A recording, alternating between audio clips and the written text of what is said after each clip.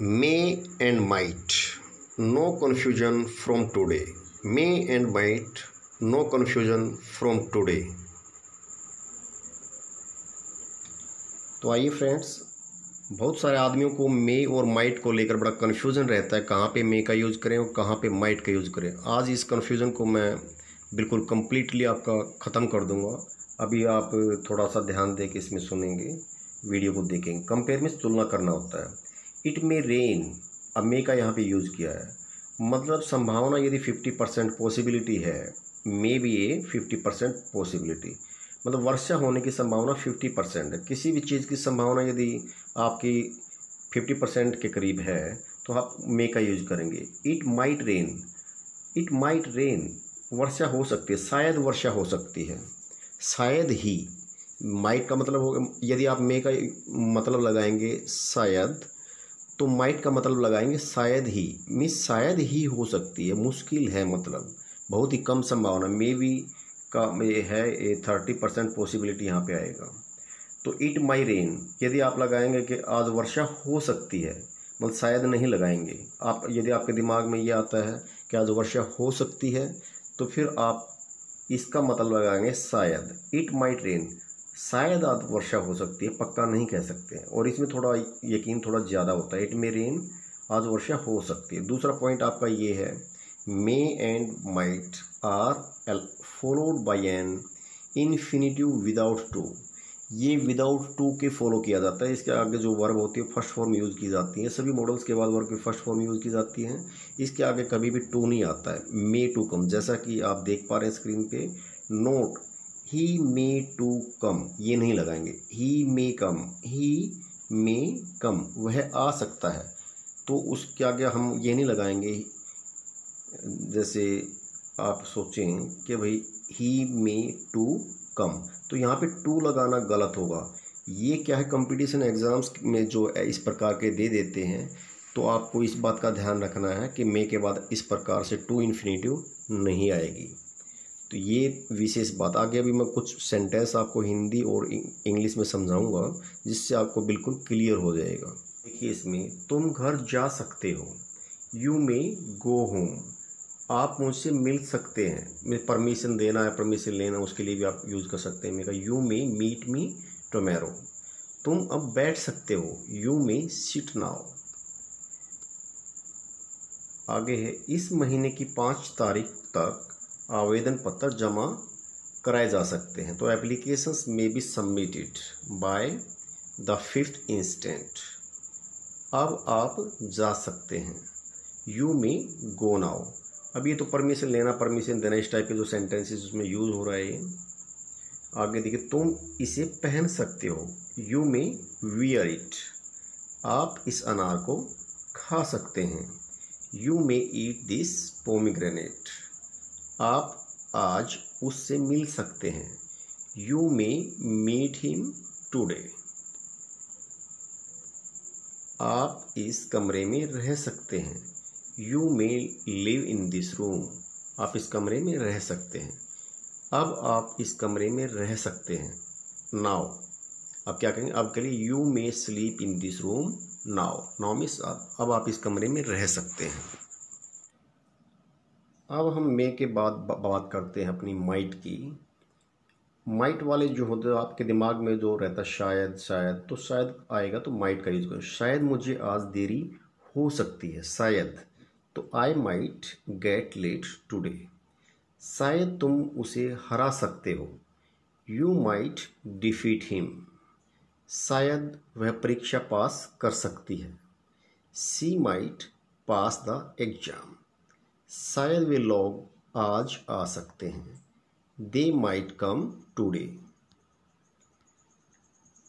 फिर next fifth शायद आज वर्षा हो सकती है। संभावना कम है तो it it might rain today next है, शायद आज बर्फ़ गिर सकती है। इट माइट स्नो टूडे शायद यह घड़ी चल सकती है। दिस वॉच माइट वर्क शायद इस जगह आग लग सकती है।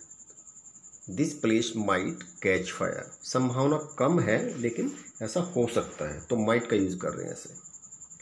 तो शायद लोग मुझसे सवाल पूछ सकते हैं। The people might ask me questions next है लास्ट शायद मेरे बच्चे यहाँ पहुँच सकते हैं। तो my children might reach here तो इस प्रकार से आपने देखा माइट का और अभी मे का यूज़, और उससे पहले मैं इसका कंपैरिजन भी बता चुका हूँ, और इसके आगे अभी और मैं आपको बताऊँगा कुछ और सेंटेंसेस माइट हैव मीन जहाँ पे माइट का ही यूज़ होना है। जैसे अभी नेक्स्ट उस पर चलते हैं स्लाइड पे, कि ये जो टेंस आप इसमें देख पा रहे हैं, शायद वह चाय पी चुका होगा।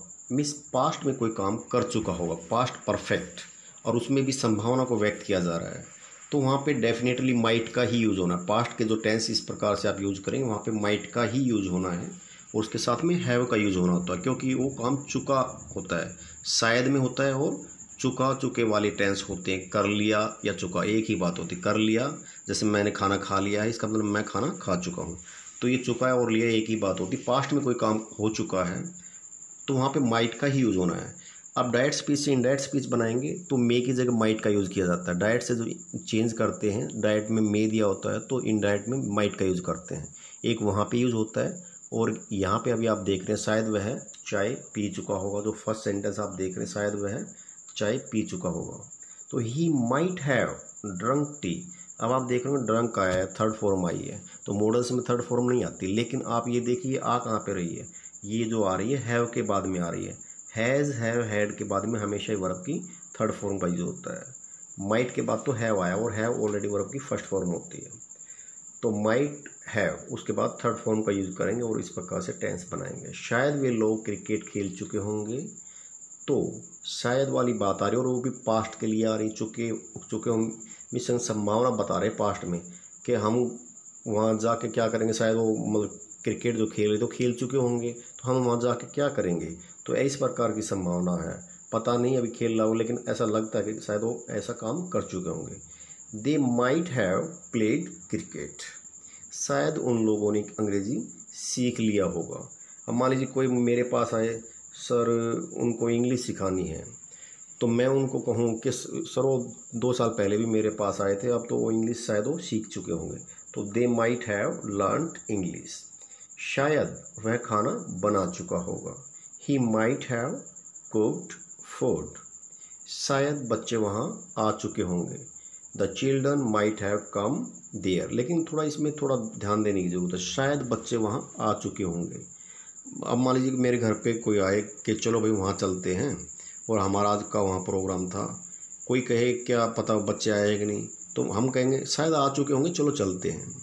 तो ऐसी संभावनाएँ जो व्यक्त करते पास्ट के लिए और तो हम माइट हैव का यूज़ करते हो थर्ड फॉर्म का यूज़ करके हम टेंसेस को बनाते हैं। बहुत इजी है, आपको क्लियर हो गया होगा कि माइट और मे में क्या अंतर है।